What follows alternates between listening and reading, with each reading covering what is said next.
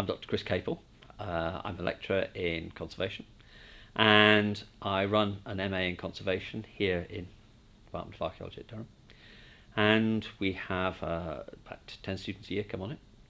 And the lab itself not only supports the teaching and learning of those students, but also engages in some artifacts teaching with museum students and acts as a kind of conservation lab for the, the department.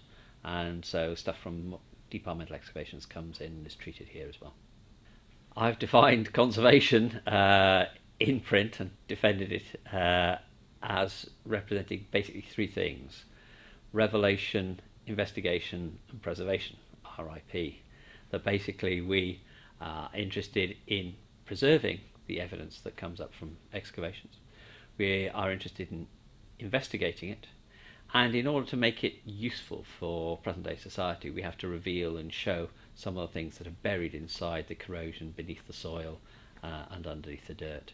So when we're confronted with any artifact, we will engage in some, to some degree, in all these activities. Some more uh, take more time and more resources than others, but all three elements are uh, key factors in conservation.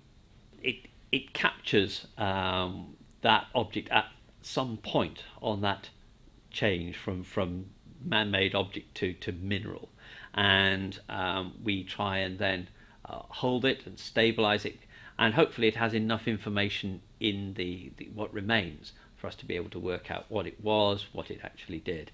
Um, and it's those little traces, the fact that you can see where. So if we have a something like a horseshoe nail, we can see how the head has been worn down from use or, or the end has been bent and it's been pulled out from the horseshoe. So we can see that it's been used. Other examples, will be as complete as when they were first new and made, so we know that it wasn't uh, hadn't been used. So little things like the wear, the length, the, the shank on the nail, these things really uh, are meat and drink to us because they allow us to interpret and understand what's going on on that site. Um, and obviously there is a, a real challenge in stopping a chemical process that that's you know you're heading these objects are heading to entropy. They're heading to nothingness just dust. Um, and so to hold that is, is kind of it's quite powerful. It's a bit like being a kind of doctor or surgeon. You you, you stop the decay process. Um, and you make it available so that people see it in museums. It can be handling sessions with kids or whatever it's going to be. But they can get something from that because had the archaeologists not done their job and we had not done ours it just would be that brown smear in the soil and and lost forever. Material comes into this laboratory from a number of museums, a number of excavations, and this is really the place where it gets changed from just the stuff that has come up from the excavation into the artifacts which you know inform us about you know what happened on the site, uh, when it happened, uh, and you know how things occurred. And uh, we transform these, these lumps of corrosion into artifacts. Uh, we have a variety of techniques that allow us to do that. And it is the students themselves who engage in this process. They are the magicians who turn, you know, uh, kind of uh, base metal into gold, as it were, corrosion into artifacts, which uh, then allow us to uh, create exhibitions and, and show people what actually was going on on these sites it's um, always difficult in a, a, a, a, laboratory like this. You're combining a number of things that you need to do. Um, teaching, so you need to lecture, you need individual bits of equipment so that students can develop skills like microscopes and uh, uh, hand tools like scalpels. But then you have some other pieces of equipment like air abrasive systems or freeze dryers, which are used for cleaning and stabilizing particular artifacts with particular corrosion problems. Most of the students who we have apply to do the MA in conservation already have kind of seen the the kind of magic things that conservation can do out on excavation or in museums in some way, shape or form, or heard about it in lectures or seen it in uh, television programs. Um, the students usually have um, a series of skills and interests in the past. And obviously, artifacts are something which really uh, speak to people, that they really understand about uh, what people do from the tools they use and the and the jewellery they wear. We all make those interpretations. I mean, I, you know, someone wants to know about me, they probably look in my car and see all the things that are in my car, and kind of they can work out what a chaotic man I am. But um, so people are, are, used to reading artifacts. We all are, and so really that's that's how people have got excited by the past. They see that um, by revealing these artifacts, we can understand things about the past, and they want to engage in that process.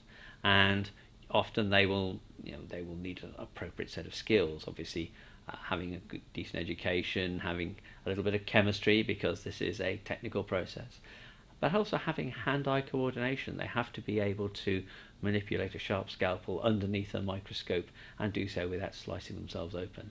Um, so they do need a range of skills.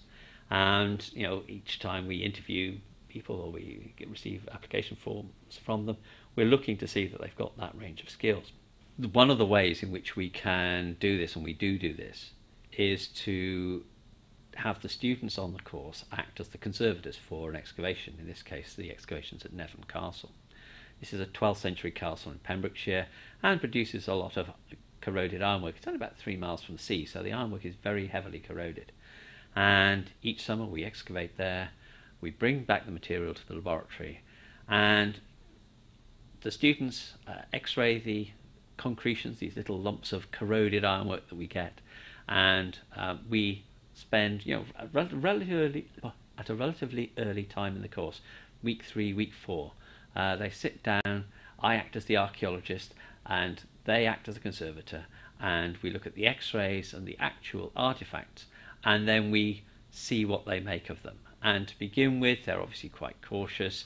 Um, they are not yet familiar with what these things mean. But as time goes on, as they see more and more examples, and we sit down as a group, we're learning from each other, um, they slowly get confident, and after a while, they uh, they're, they're, kind of identifying quite quickly what the, the, objects, and then recognizing that some of the other artifacts, or some of these, they're not even artifacts, these these, these concretions, are no more. That the, the uh, corrosion has gone so far that we cannot recover the object, and it's not worth them spending time with it and that decision making process is is you know gets embedded in uh, prospective conservators' uh, mind fairly quickly. Uh, and it's amazing how quickly they do pick up the skills, and then they will go on and start to clean the individual objects that they've identified. Again, it gives them some element of personal ownership. That's something I identified and saw on the X-ray. It's something that you then go on and clean. So it gives them a sense of engagement with the artifact, which is important. Um, but then they are obviously equally concerned to do a good job, and you know that that uh, it's a tricky skill to learn to do. Clean off the corrosion and come to a, an original surface within the corrosion itself.